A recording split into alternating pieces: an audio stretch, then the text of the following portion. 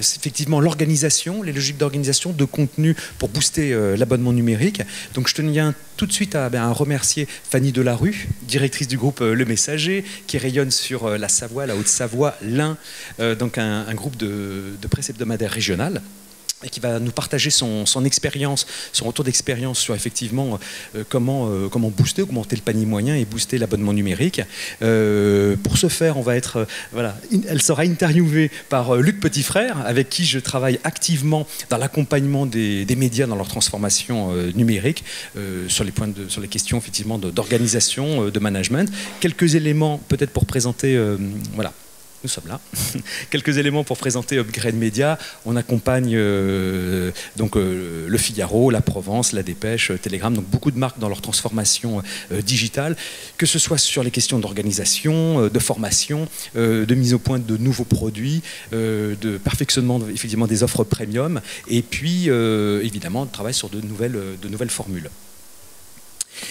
pour nous, cette question, euh, la question de l'organisation est capitale parce qu'elle doit amener euh, effectivement les médias à se concentrer sur ce qui a vraiment de la valeur pour le lecteur. ça, c'est vraiment l'élément clé. Et, euh, mais j'ai déjà trop parlé. Je vais laisser la parole à Fanny pour effectivement introduire ces logiques d'abonnement et comment elle a fait évoluer son organisation depuis 2-3 ans. Fanny. Effectivement, euh, bonjour à tous et toutes. Donc, euh, on a commencé au messager. Je vais vous raconter une histoire qui n'a que 4 ans et pour autant, on a déjà plein de choses euh, à vous partager. Donc, on, est, on, a eu un, on a fait un changement au niveau du digital. En octobre 2019, on a lancé, donc il y a vraiment trois étapes clés. On a lancé notre nouveau site en, sur un modèle freemium. Donc, avant, euh, on avait un site, mais qu'on alimentait euh, avec du contenu euh, froid et on programmait les contenus, considérant que comme nous on est une presse hebdo, un contenu était périmé quand il avait plus d'une semaine. Donc voilà, ça c'était un peu l'ancien temps. Mais il n'empêche que c'est bien de savoir d'où on part pour présenter où, nous sommes et, et, après où on va. Donc ça c'était la première étape, passage en web first. Donc passage en web first, ça veut dire aussi changement d'organisation. Euh, premier changement d'organisation, c'est euh, justement ce que je vous disais, c'est comment on programme les contenus de la rédaction sur du contenu déjà paru dans le print. Eh bien, c'est passer à passer à du digital first, puisque là, on est sur un nouveau modèle. Et puis, c'est aussi passer sur une organisation euh, différente. Et là, on est passé par trois étapes. La première étape, c'était de mettre en place ce que j'ai appelé à l'époque le triangle magique, c'est-à-dire avec un content manager, un community manager et une personne en charge des acquisitions numériques. Parce qu'en fait, comme on n'avait pas de modèle payant, bah, il fallait quand même quelqu'un qui s'y penche. Donc euh, j'avais tout, tout, de suite identifié que la personne en charge de la diffusion dite traditionnelle, donc plutôt print, c'était un savoir-faire et un métier qui était totalement à part et qu'il fallait vraiment quelqu'un qui soit focusé là-dessus. Donc ça, c'était le premier point de base. Et puis la, la content manager, elle était aussi, euh, elle était aussi journaliste.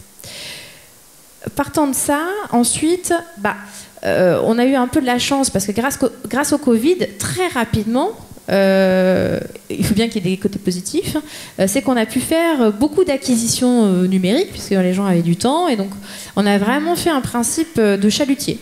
Donc euh, voilà, on s'est plutôt concentré sur les grosses marques, puisque je représente 5 marques, 8 éditions. Donc on est plutôt, on est allé investir euh, les marques majeures, donc notamment le messager. Et puis on a fait le chalutier. Et donc là, on a eu effectivement euh, énormément de, énormément d'acquisitions.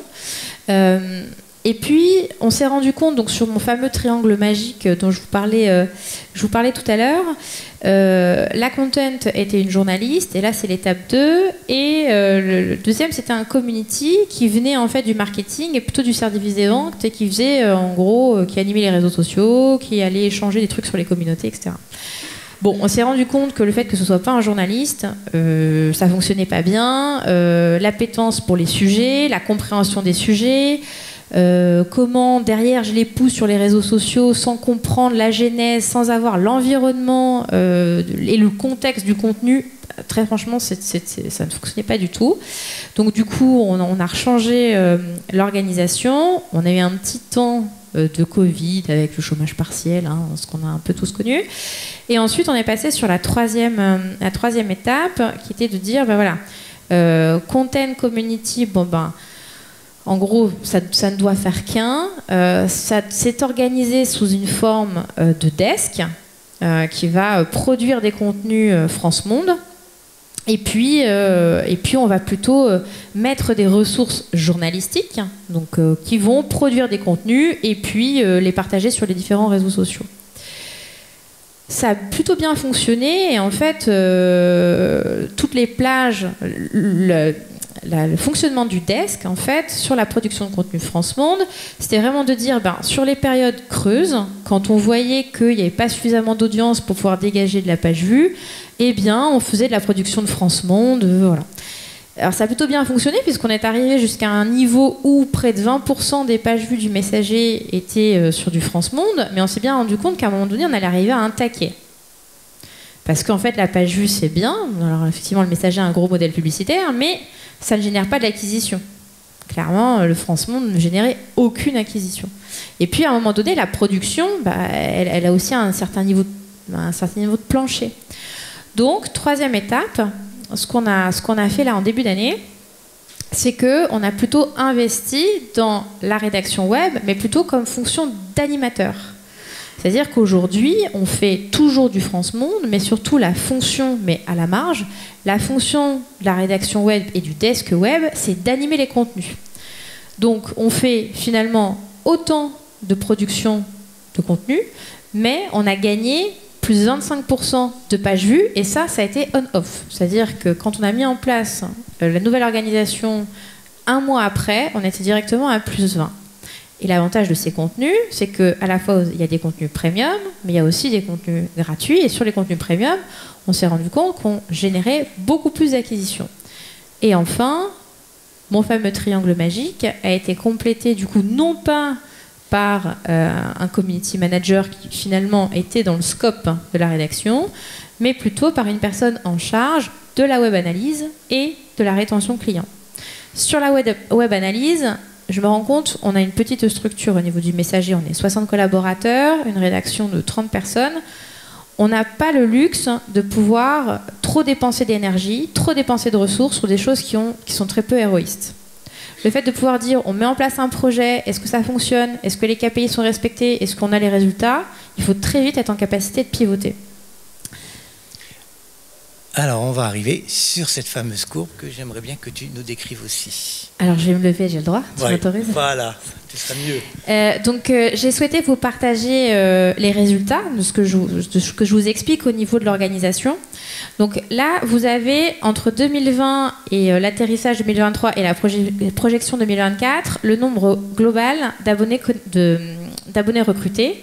Donc les abonnés au messager, ils sont print plus web. Je vous ai fait un focus euh, ensuite sur uniquement la partie digitale, mais parce que quand on a créé l'offre dès 2019, on s'est dit dans l'environnement d'un abonné, j'ai pas voulu découper euh, le digital du print, considérant que quand le lecteur est abonné print, il a aussi euh, le digital et que ce soit vraiment un, package. donc on voit bien qu'en 2020, bah, on a eu euh, plutôt une 2020-2021 une forte progression, ce qu'on a à peu près tous, euh, tous connu euh, effectivement avec le Covid. Et ensuite, ben voilà, on a plutôt un, étalement au niveau, des, au niveau des recrutés. Concrètement, sur mes recrutés, c'est clairement la performance digitale, de l'acquisition digitale, qui me permet de consolider mon portefeuille.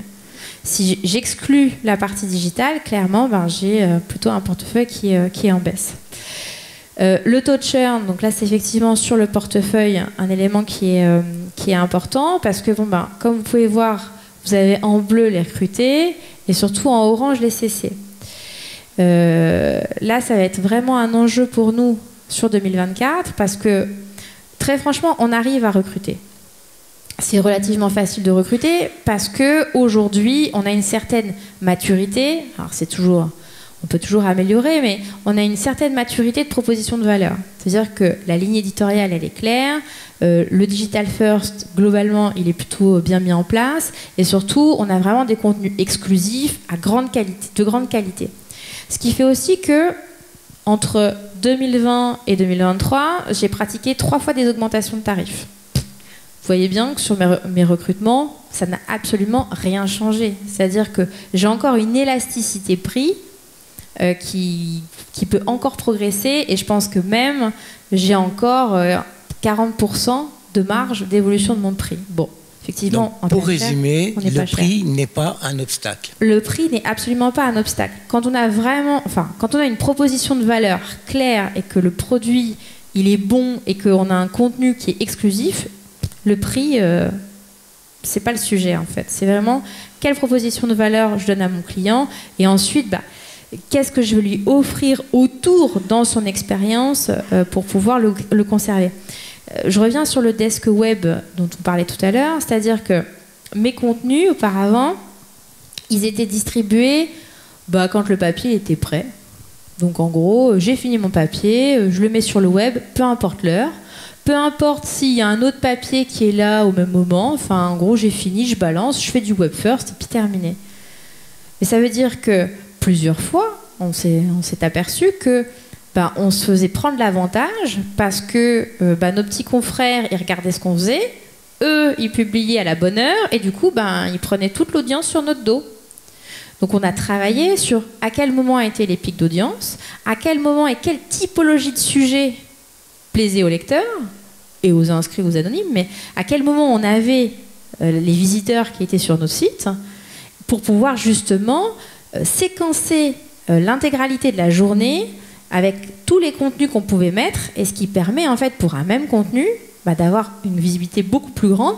Et la rédaction web, quand elle voit que sur une édition, ça fonctionne bien, ça commence à monter, ça fait du buzz, peu importe que ce soit gratuit ou payant, elle va pouvoir le distribuer aux autres. Donc on fait recirculer très régulièrement les contenus, ce qui est un cercle vertueux et ce qui fait aussi que l'abonné, ben, il a toujours l'impression d'avoir euh, plein de contenus et une grosse proposition de valeur. Et donc, du coup, effectivement, le prix, ben, c'est pas trop un sujet. On questionne quand même tout le temps nos, abonnés et nos inscrits. Et pour nous, le prix, c'est pas le sujet. C'est plutôt le sujet, c'est la reconnaissance client. Alors, j'ai passé à la deuxième courbe, justement, où il y a le, panier. Oui, effectivement. Donc là, on peut voir que entre 2020 et là, l'atterrissage 2023 et la projection 2024, on a en deux ans augmenté notre panier moyen de plus 28%. Comment on a fait J'ai le même nombre d'abonnés, ou quasiment. Enfin, je vous ai montré tout à l'heure, j'ai pas fait une progression euh, fulgurante sur mon, volume d'abonnés. Donc, comment on a fait? Eh bien, c'est simple. On a décidé de défendre notre valeur. On a limité, donc ce que je faisais au démarrage en 2020, le chalutier, je te fais du 1 euro le premier mois, 1 euro pendant deux mois, 3 euros pendant trois mois, 0 le premier mois, 15 jours gratuits, enfin, toutes ces offres-là qui finalement déprécient la valeur. On a plutôt décidé de les limiter dans le temps. Donc effectivement, il y a des périodes comme les soldes ou Black Friday. Bon, bah là, les gens attendent du prix, donc on va y aller. Mais sur, tout le reste de l'année, on défend vraiment la valeur du produit et la proposition de valeur à travers des campagnes et des opérations plutôt de marketing éditorial. Par exemple, pendant l'été, on va plutôt communiquer sur le fait que chez nous, ils vont avoir plein d'idées de sorties euh, à faire, des endroits à découvrir sur leur territoire. Et on va le travailler en, format série pour justement leur donner envie de, s'inscrire et de s'abonner. Et puis quand ils ont déjà payé dès le premier mois la valeur du produit, bah après l'enjeu, c'est de pouvoir euh, travailler la rétention. Je crois qu'il y en a une troisième. Hein. voilà. Euh, donc là, vous avez par contre ce dont je vous parlais tout à l'heure. Là, c'est l'abonnement euh, payant avec le full web. Donc ce que je vous présentais tout à l'heure, c'est-à-dire qu'aujourd'hui, le messager, dans son portefeuille d'abonnés, on est euh, en termes de performance la meilleure de la PHR, puisque 18% de notre portefeuille abonné est du digital. Et du digital, full digital. Donc c'est-à-dire que j'ai pas pas mon offre cumulée. Sur mon offre cumulée, dans les abonnés qui sont euh, print et qui ont le numérique, 50% ont activé euh, leur, euh, leur, ce qu'on appelle leur compte connect, c'est-à-dire ils ont fait la démarche d'avoir un, identifiant qui leur permet gratuitement, puisque ça fait partie de leur offre, d'accéder au site. Et là, on a mis en place plein de campagnes pour essayer de faire évoluer ce pourcentage-là clairement, je suis au taquet. C'est-à-dire que il faut, j'ai accepté que dans mon portefeuille d'abonnés, il y a des clients qui veulent être only print. Et ça leur va comme ça. Alors, moi, je voulais euh, un petit peu compléter. Euh, donc tu parles de, la structure du desk, euh, donc avec journaliste, quelqu'un qui s'occupe un peu de, tout ce qui est diffusion, etc. Et puis tu as, si j'ai bien compris, donc un, un analyste de données dans ton équipe. Oui. Et euh, donc ça, c'est quand même un point clé parce que c'est pas quelqu'un qui va produire, c'est quelqu'un qui va analyser. Exact. Et quelle est l'importance pour toi d'avoir une personne qui fasse que ça? C'est crucial.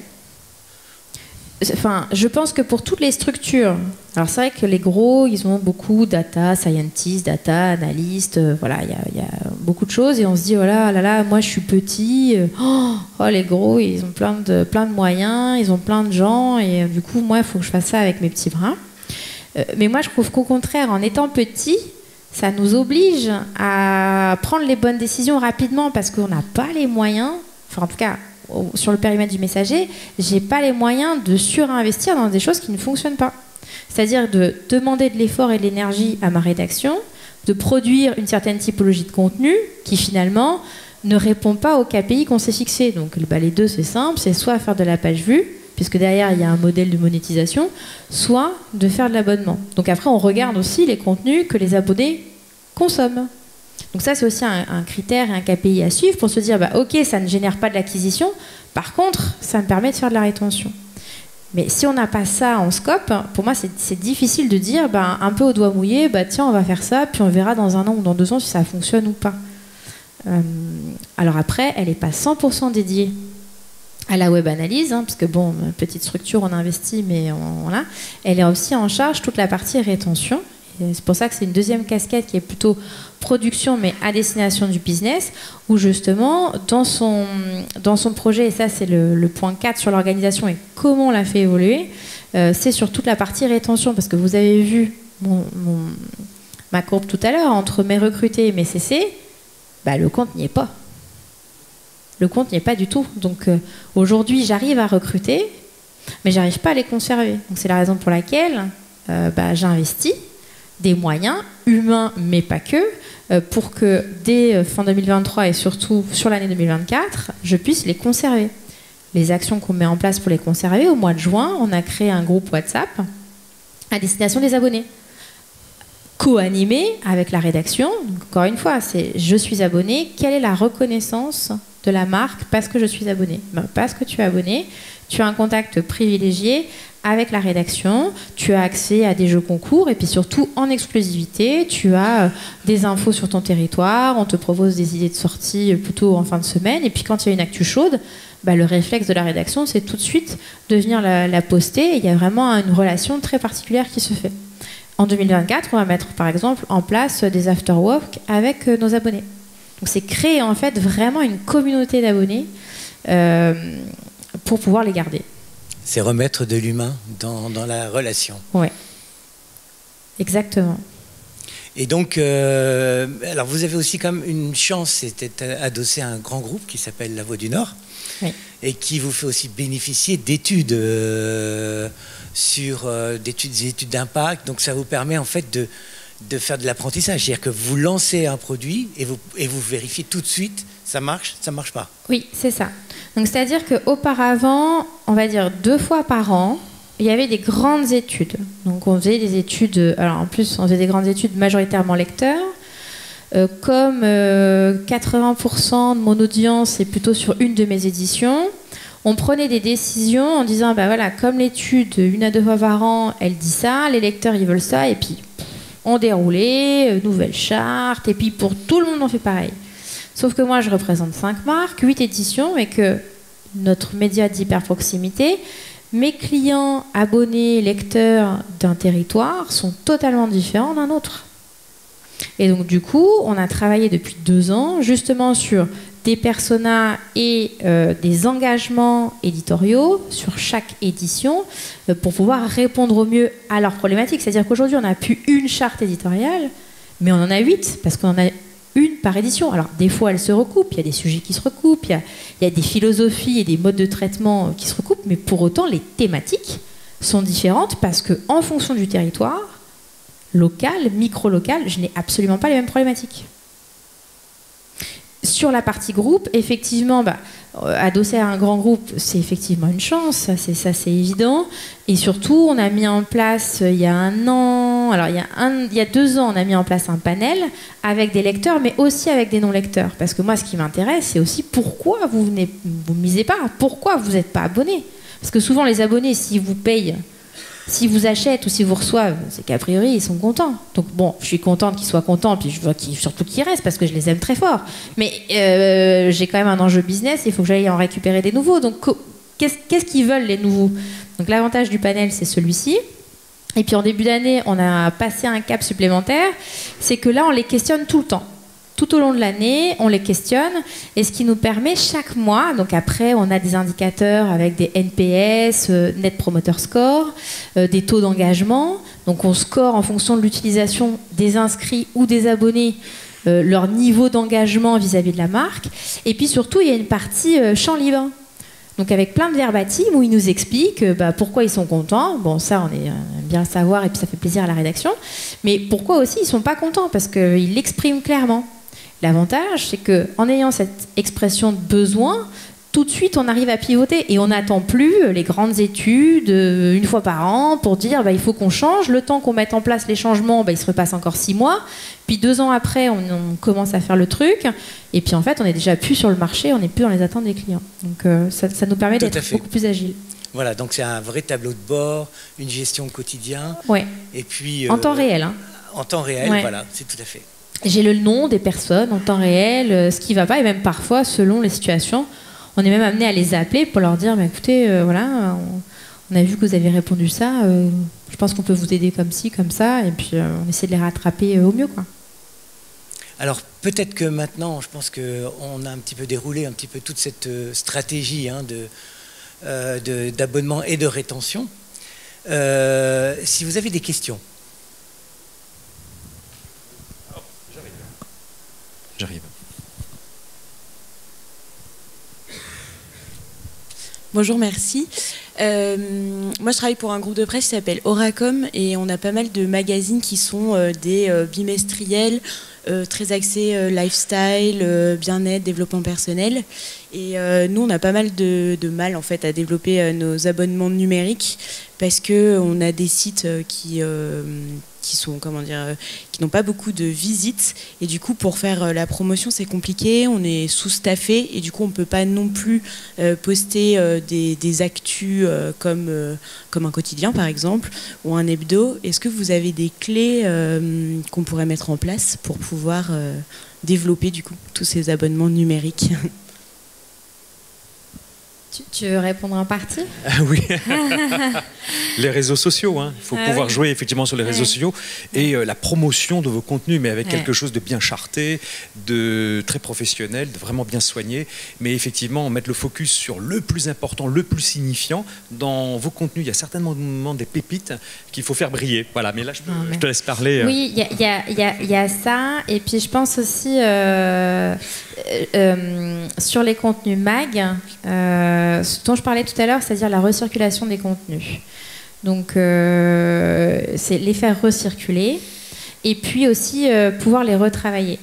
C'est-à-dire que le desk web, il a aussi un rôle de les contenus qui ont bien, enfin, qui, ont bien fonctionné ou qui peuvent être encore dans l'air du temps, il les retravaille. Donc parfois, des fois, c'est juste changer la photo, retitrer, mettre un résumé, mettre plutôt en avant un angle qui a été développé plutôt que que le papier de tête euh, de démarrage, mais je pense que euh, c'est ce que je disais sur l'organisation du, desk, c'est-à-dire qu'en fait, euh, avec autant de production, donc quelle qu'elle soit en fait, petite, moyenne, grande, mais avec autant de production, j'arrive à aller chercher beaucoup plus. Et puis, ce que je vous conseillerais de faire aussi, c'est que même si votre site il a peu de peu de visites, c'est d'identifier quand sont vos temps chauds. Et quand les temps sont chauds, et eh ben c'est là où il faut balancer la sauce, quoi. Où il faut mettre le meilleur parce que quand ils sont là, ils vont avoir une super expérience, ils vont avoir tendance à revenir et puis c'est un cercle vertueux. Les moteurs de recherche vont voir que votre contenu il est bien indexé et puis en fait ça, ça, ça, ça en ayant exactement le même contenu. Bonjour, merci pour cette présentation. Euh, Laurent Edouard, groupe euh, Legal to Digital. Alors, je suis le directeur de publication de mes infos et président du groupe Tout Lyon qui va de l'Auvergne jusqu'aux montagnes que Fanny doit très très bien connaître. Oui, oui. Euh, on va y retourner très vite, histoire de retrouver nos montagnes. beaucoup de questions, mais plus l'humain, vous l'évoquiez. Comment vous avez acculturé vos équipes? On est bien d'accord que qui dit web dit un travail 7 jours sur 7. Mm. Si on veut faire un, vrai web, et donc en quoi le hum, fonctionnement hebdomadaire a changé, y compris sur le, week-end? Est-ce qu'on est resté sur de la programmatique? Est-ce qu'on, comment vous avez euh, implémenté vos équipes? Euh, Vous parliez des content managers, des euh, community managers, le fait qu'ils soient journalistes. Mm. C'est toujours le cas ou ouais. D'accord. Ils ont les deux. Ok. Ok. Euh, et peut-être un mot sur le panier moyen, parce que le prix, vous évoquiez que n'était pas une barrière. Mm. De quel prix parle-t-on? Parce que bon, c'est vrai que si on passe l'abonnement de 10 à 20 balles, ou, voilà, ou si on le passe de 60 à, à 150, euh, voilà, je vais pas le mettre quelques questions, pas obligé de répondre à tout. Hein. Il y a plein de questions. Donc la première, euh, moi j'entends management du changement vis-à-vis -vis des rédactions. Euh, alors là, c'est clairement la pédagogie. Alors, le fait qu'on ait changé de site, il y, a eu des, mm, modifications euh, sur le site là en, 2019. Ça a déjà été un, palier, c'est-à-dire de dire ben, on va passer sur un modèle freemium, c'est-à-dire qu'on va, grâce à vos contenus, on va aller chercher des nouveaux abonnés. Ben, déjà, en fait, c'était un passage et c'était visible aussi pour eux mais il a fallu les aider. Et dans l'aide, effectivement, ben, on a beaucoup formé, on a beaucoup accompagné, on a donné du sens et on a surtout beaucoup partagé les résultats. C'est aussi la raison pour laquelle, euh, je, reviens à, Web Analyst, le partage des résultats, c'est aussi un élément essentiel pour les rédacs. Parce qu'elles ont besoin de savoir ce qu'elles font, si ça marche ou pas. Et même c'était marrant, des fois il y en a certains, ah, j'ai fait tel papier, je pense que ça devrait bien marcher. Puis quand ils voient les résultats, ils disent, oh, je suis déçu, c'est pas normal. C'était un bon contenu. Euh. Ouais, mais là, quand on commence à scroller, à quelle heure il a été publié? Comment tu l'as poussé sur les réseaux sociaux? Comment tu as vendu ton papier? Ben voilà, donc là, on va pouvoir t'aider et améliorer. Donc sur le, management du changement, il est important, il est important au démarrage, mais franchement, il est continu. Même encore aujourd'hui, euh, on travaille euh, toujours sur... là, on est plutôt nous sur la vidéo, parce qu'effectivement la vidéo permet euh, de faire recirculer beaucoup plus euh, l'information, ça permet au, lecteur d'être plus longtemps sur les sites. Donc là, on a, là on, a, on a passé le management du changement sur le digital first. Globalement, on y est bien. Euh, maintenant, c'est comment j'intègre d'autres contenus dans mon contenu. Donc la vidéo, l'audio. Donc là, on est encore dans, du changement. on est en permanence. Donc c'est plutôt un cycle continu. Et puis, ça ne nous empêche pas de pivoter. Par exemple, sur le podcast, on s'est lancé en 2021 euh, en se disant bah, le modèle du podcast, on se donne rendez-vous euh, tous les 15 jours autour d'une thématique, d'une série, enfin d'une émission pardon, qui s'appelait Les gens d'ici. Et puis on se s'est rendu compte, parce qu'on n'avait pas de web analyse, au bout de deux ans, bah, en fait le truc ne fait pas beaucoup d'audience, on a très peu d'écoute on n'est pas hyper satisfait du rendu final. Euh, selon les clients, enfin les clients, les interviewés qu'on avait, il y a plus ou moins des bonnes audiences, mais en, soi c'était déceptif. En plus, les équipes me disaient ouais, ça fait 50 euh, écoutes, ça me prend du temps, euh, c'est long, ça me fait faire le travail deux fois parce que ben j'écris pour mon papier et ensuite je fais la prise de son. Donc franchement, pour ce que ça rapporte, honnêtement, on voit pas l'intérêt.